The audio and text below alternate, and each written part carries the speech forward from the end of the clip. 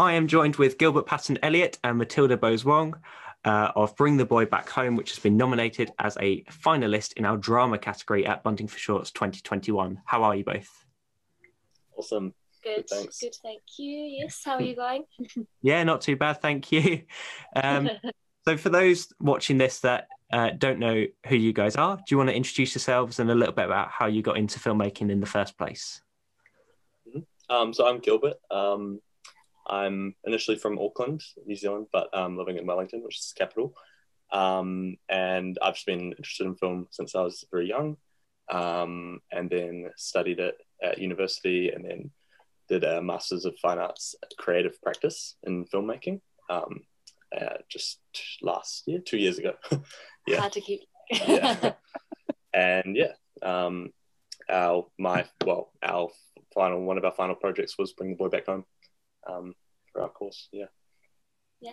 Um, yeah. And um, I'm Matilda. Um, I probably got into, I was always really interested in film as a kid, um, but never really realized that I could actually do it myself.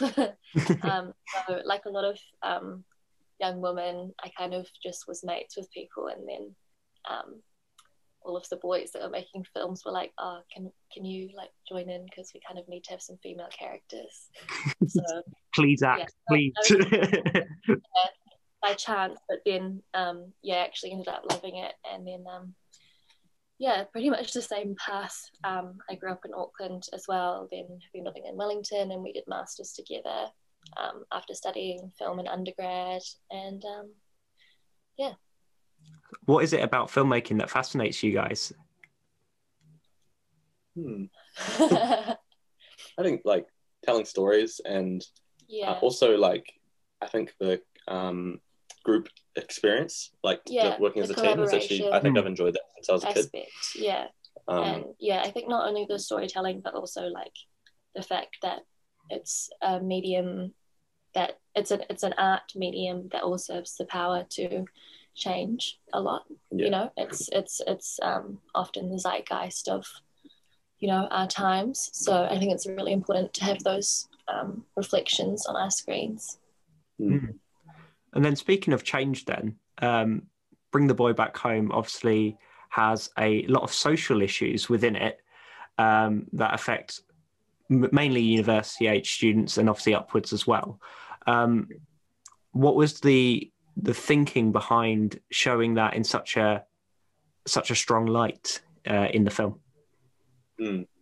Well, I think I definitely it was something at the time I was thinking about a lot as a student. Um, if you go into my last year, about um, I don't know, just at that age um, is quite a vulnerable time for people in universities. Um, Mm. and there's also the drinking culture element, which um, is a big thing in New Zealand, and and probably in the UK as well.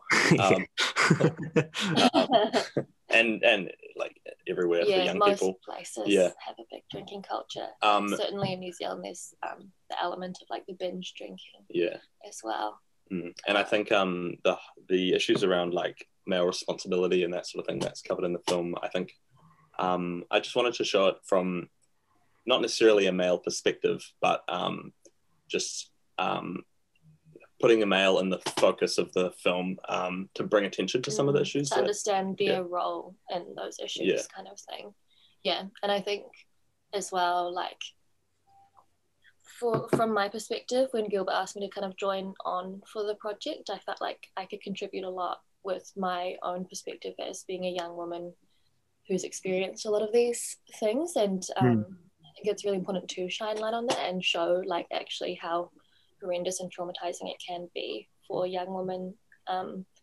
in in that kind of university young culture age where kind of no one really knows themselves yet we're all still developing Yeah. at the same time and um, it's easy to get caught up in you know other stuff yeah, and it all it all intertwines. I think the drinking culture and then the kind of lad culture, and then there's you know.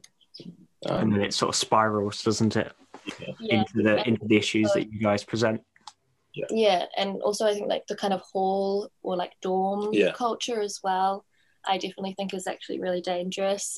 yeah, we both went to university halls and had quite different experiences, and yeah, I think that definitely helped form the sh- shape of the film. Yeah, and, and definitely like because this time now there's heaps of students in the city, all the fresh first years are out and about and like Mm. settling into their halls, and it's just I feel like I'm getting this kind of anxiety of like oh there could be some really bad things to come, and I really hope Mm. that you know you are protected and that you've got a good group of friends and that you've got good like RAs or whoever around you so that you feel supported and not alone in it because it can get it's very easy I think to get swept up in everything and then just Definitely. yourself a it's one of those issues that's never like formally talked about too much really. But yeah it affects so much of populations around the world. And Yeah. i think for me this is one of the first films i've seen where that's a big forefront issue. But within the film i find it really interesting that it's not ever explicitly mentioned as if it's just from that perspective of you can tell exactly what's going on here and what's happened was that very deliberate yeah, I think so. I think we wanted to focus on how Dom, the main character, deals with it rather than um, yeah it's the aftermath Yeah. because Mm. it's so much more than when things like this happen it's so much more than the event itself it's it's Yeah. everything that happens afterwards Yeah. and how we deal with it yeah and and i think um yeah not focusing on the issue itself wasn't i don't, I don't think it was necessary um i think people understood what was yeah, Yeah. there's no need to have a drawn out explicit horrible traumatizing scene um, No. we can Mm. imply it in different ways with storytelling Yeah. um, and i think also it kind of adds to that aspect of the kind of taboo of like we, we're still not as a culture very comfortable with talking Mm. about issues of sexual assault and rape you know it's not something that people explicitly really want to say yet um, so i think it that in my in my eyes that was kind of like a reflection of that of how we kind of tiptoe finding a bit of a balance between really saying it and then saying it to an appropriate yeah and also kind of for, for our audience as well like i don't really want to re-traumatize or trigger someone yeah i want them to be able to experience the film um, you know no matter what they've been through and kind of understand those reflections that we're trying to show um, rather than just have it be too hard to watch for some people. Yeah. And i think the scene uh, obviously the scenes were at the start with uh, dom dancing away.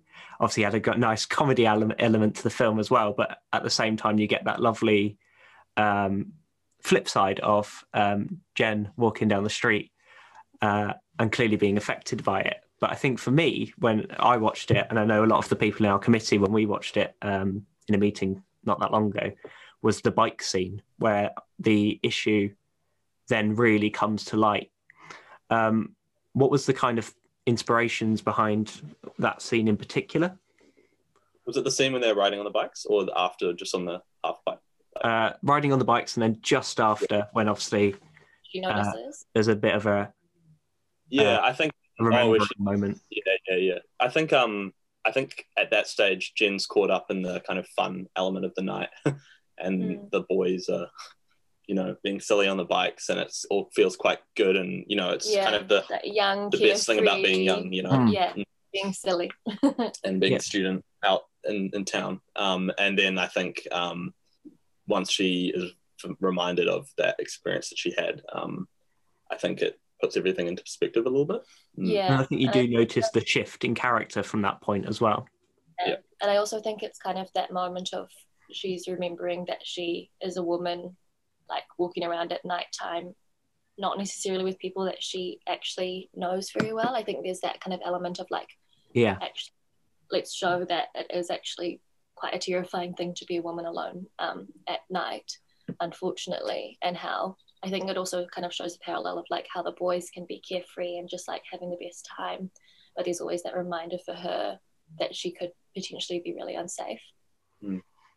Yeah, exactly. And would that be one of the reasons why comedy was slightly written into it? Uh, was written into the story as well to sort of have that uh, contradiction between obviously the quite sad elements of the film and the the poignant bits. Yeah, and I also think I wanted to also encapsulate just student life in general and the good parts Hmm. about that as well. Yeah. And I think we tried to like strike a balance between the two. um, moods. Um, and yeah, I suppose it does. It definitely puts things in perspective a bit more once you you know you have that first kind of half of the film where it's quite like silly and um, Dom's kind of the driving force of the film. Mm, Um, kind of caught up in the antics. and he wants to have this just fun night out. Um, and I think once once we start learning a bit more about Jen's background and what she's been through, then yeah, that definitely um, I don't know puts puts things in perspective. perspective. Yeah. Mm. Yeah. And I think it's really important that because Dom is kind of trying to cling to that kind of like young student life, having fun kind of thing. And you know, his Mm. friends didn't want to go out, so he's like just desperate to have a have a good night kind of thing. Um, and I think it's really important when Jen kind of puts that in perspective. Um, Yeah. Because I think Jen wants to have a good night as well. yeah, that's the whole point. Like, we all want a good night. Yeah. As But- students, But there's always those limiting factors sometimes Yeah. that people don't necessarily realize. yeah. definitely. Yeah. yeah. So also within the film, there's a big focus on uh, Wellington. Am I right in thinking Wellington-based music? Hmm. Um, why did you choose to spotlight local artists within the film? Uh, well, it's It easier just- to I get mean- the right sort of. it just also- made sense Fair. as the producer, um, I think it just made sense because um, the city itself, Wellington, I kind of feel like is its own character. Um, It's really like embedded in the film, and so it didn't seem right to not have like kind of the Yeah, music that we actually listen to Yeah. and is created around us, Mm. not part of it. Um, and I also like for us as like young emerging artists that we might as well like bring some other young emerging artists definitely, um, on board. yeah, it was cool to support like people. A lot of the people that were musicians in the film we knew um, pretty well. Um, Yeah, and then also it was just like a good chance to reach out to some other musicians that we, um, you know, are aware of in Wellington because it is um, really small here. yeah, and it's also a creative. everyone. It's a creative city. Um, Yeah. it's known for that in New Zealand, and so I think Definitely, definitely. there's Um, always things going on, um, and I think we kind of wanted to make sure that that was an element Yeah. of the film. and obviously now that the film's being spread to festivals and people all around the world, it obviously gives New Zealand a bit of a bit of a boost in terms of the cultural uh, aspects as well, which must be really nice for you guys to sort of be the the champions of that in some respects. yeah, it's cool. we, um, I think yeah, New, I think New Zealand's known, you know, for its like Lord of the Rings and stuff like that. yeah, Uh, and then like more recently, the kind of what we do in the shadows, Taika Yeah. Taika Waititi stuff, which is fantastic. Which is amazing, and I'm really glad that he's changing Yeah. some of the representations of us um, in the Mm. media. That um, But it's cool to have um, a student perspective of New Zealand um, yeah. glo- globally. think I really wanted to capture what Wellington feels like when you're a young person, because it's just yeah, it's such a good place to be when you're a Yeah, student. it is a Um, really you, you can see that so clearly with the vibrancy in in even just like the street scenes in the film. You can just feel like it's a good place. Uh, I've never been, but hopefully one day. uh, awesome. Um, so the film was also funded. Uh, was that crowdfunded, or um, how did you go about? Obviously, the the difficult part of bringing the film to life. Yeah. So um, in our course, basically, before we got to the making of this film, we did kind of like a commercial bit, and so we just made a bunch of ads for different companies, and and then the university was like, "Here's your budget." Um, so we got some money from there, Mm. and then um, we also um, launched our own crowdfunding campaign um, on PledgeMe, um, which was yeah a really interesting experience to give crowdfunding a go, Mm. um, and definitely like it went, exceeded our expectations was so much. Everyone was so generous and kind. Um, it really yeah meant a lot to us because obviously we wouldn't have been able to enter into any festivals without it. Yeah. Um, that was great. so yeah, yeah, it was an interesting. I think it's a really good experience to understand how to crowdfund um, in this day and age where Mm. And it's a big Um, thing asking other people for money as well. yeah, Um, Yeah, and it's it was really humbling to see how many people were keen to like help to support this us. little yeah. you know creative thing happen. Which is, yeah, patrons of the arts. It's good to Yeah. see. Yeah, Um, yeah, and like we made like a little video and stuff, which got us really excited for the shoot itself, and Hmm. actually probably helped us a lot once we started shooting because it gave us kind of that taster of um, how many night shoots we had to come. that's the tough part because uh, the way the course worked is that you, you had to do it in a five day period. That was your shoot week, week, and so we did five night shoots in a row. yeah, oh, And that it's- must have been very taxing. yes, we do over a three week period, like work on a different film every week, Hmm. and so. Wow. And Bring the Boy was in the first shoot Yeah. week. So we just like drained everyone's batteries down Screwed up everyone's sleep with schedules. all of the night and then yeah, it was Yeah. tough, but it was the actually sunrise. It was beautiful. yeah, it was actually really fun. Um, yeah, I really finishing yeah, finishing on the last day when the sun was coming up was pretty special for the whole. I don't know. This, I was so delirious. Eh? Yeah. I mean, you would be after five five night shifts in a row, but But it was good. It was good fun. I think from watching it, you can tell that you guys had a really good time shooting it as well. Um, and obviously, the response, as far as I've seen, has been incredibly positive. Um, what's the reaction been like, sort of directly to you? Um, well, we had our screening for it, like our official university screening for it, Mm. um, to last so year, long. start of Oh, last, last year. year. start of last Yeah. year, and um, that was really cool. We got some feedback from um, industry professionals and that sort of thing, which was nice, and I think it was pretty generally pretty positive, which was cool. Um, and we're still, you know, we've showed we haven't showed it to everyone that we want to yet because we're waiting for the festival kind of run to see how that goes. Yeah, but um, no, it's been really positive. I think. Yeah. Yeah, Right, yeah. I've It's seen been it. really. re- I mean, it's really just such a good opportunity to get other people to see your work and then see what people think. And it's interesting, like now that so much kind of time has passed for us, I feel like we've even continued to grow ourselves as filmmakers since then. And um, you know, we're working on stuff now, and I think it's going to be so interesting to kind of compare our work throughout the like And how, how you've grown based on the back of all of this? Yeah, Yeah. exactly. Um, so what what is next for you guys? Is there anything that you can disclose a little bit of, or is it completely under wraps? Um, Yeah, we could we can Yeah. share some bits. Yeah, um, we've got some music videos in the works. Um, so more working with artists is really cool. Um, Yeah. and also really nice opportunities to be like super creative and out there and wacky with music videos. I Mm. think um, Mm. because the narrative is not as hugely important. Yeah. Um, and then also we've got the 48 hour filmmaking competition coming up, which I don't know if people overseas know about, but it's just like a, I think it's the 19th year it's been on in New Zealand, and um, it's a 40. You have to make a film in 48 hours, basically. And I think for a lot of like young Kiwis, it's your first taster of filmmaking, Mm. Mm. and big encouragement for me when I first did it when I was 15. I think I really got like that taste for filmmaking and was like, okay, yep, it Yeah, makes it's a really cool This thing. is what I'm doing. Yeah. Mm. yeah. I think opportunities like that for young filmmakers, especially, is just something to just boost them into it, and Yeah, give it a go like you guys have.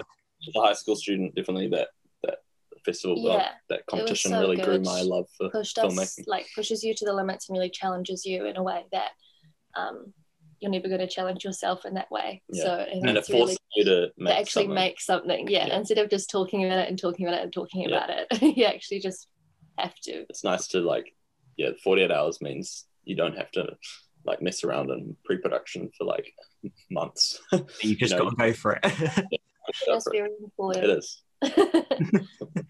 Amazing. Um, so what would you say for you guys then is the is a sort of goal? So let's say the realistic goal, and then the if everything goes amazingly to plan, this is the dream goal uh, with the filmmaking. Um, yeah, yeah, You, you can go first. What's your What's your extreme goal? I don't know. I actually really like. I didn't. I hadn't actually done much directing before Bring the Boy properly. Like Hmm. um, with a, like relatively large student production, but big, cr- It was like a big crew. decent crew. Um, and I really enjoyed that. So I think, yeah, one day hopefully continue directing and making I think music videos is actually what we're both really interested in. So I think that would be something really yeah, cool to right pursue now it and feels good. something that could actually happen. yeah. and then, you know, the big dream. Um, yeah, Sundance Yeah. or something like that. Yeah, yeah, I love it. yeah. Amazing. Um, yeah, I guess I feel like I'm on a good trajectory, kind of, at the moment. I am working four jobs, but like most of them are film-ish related. kind of. um, Mm. and so it feels good that we're kind of going in that direction because I think it's another element of being a filmmaker or like a creative is that kind of how do you balance um, making some money um, and creating, you know, and not Mm. burning out. Um, so and it's been pretty tough. I mean, it's we're lucky Oh, here yeah. in New Zealand. We're lucky here. Now the opportunities are growing, and a lot of productions are moving down to New Zealand. Definitely. Um, but Hmm. at the start of last year, you know, yeah, we were in a as new lockdown as well. graduates, we were pretty uh, disheartened Yeah, it for was- a while. It was tough to like come out of our course, and then you know, lockdown starts, and kind Yeah. of lose that That mo- momentum. the momentum of it. yeah. Yeah. But okay, such is life. Yeah.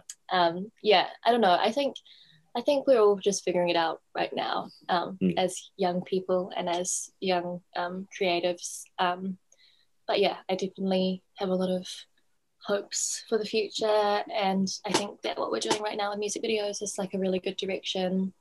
And we have a Um, good group of um, creative friends Yeah, down here that yeah. we've kind of that's kind of an element that I feel very grateful for. And like, you know, the whole kind of like Wellington creative scene is that there's always like new people to work with and um, to share your vision, which is really cool. and then Um, just build that contact circle as well. Um, obviously, for when you work on different things, just to be able to drag them in again is obviously a great opportunity. Yeah, definitely. Yeah. sure. Amazing. Well, thank you very, very much, guys. I really appreciate your time. Thank you. Um, best of luck.